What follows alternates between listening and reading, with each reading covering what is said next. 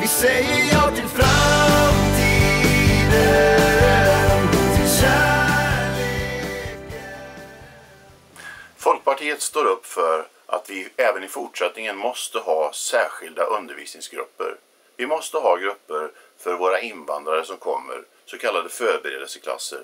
Vi måste ha små undervisningsgrupper för den som inte klarar av ett eller annat skäl att sitta i en större grupp. De allra flesta eleverna kan gå i stora vanliga normalklasser.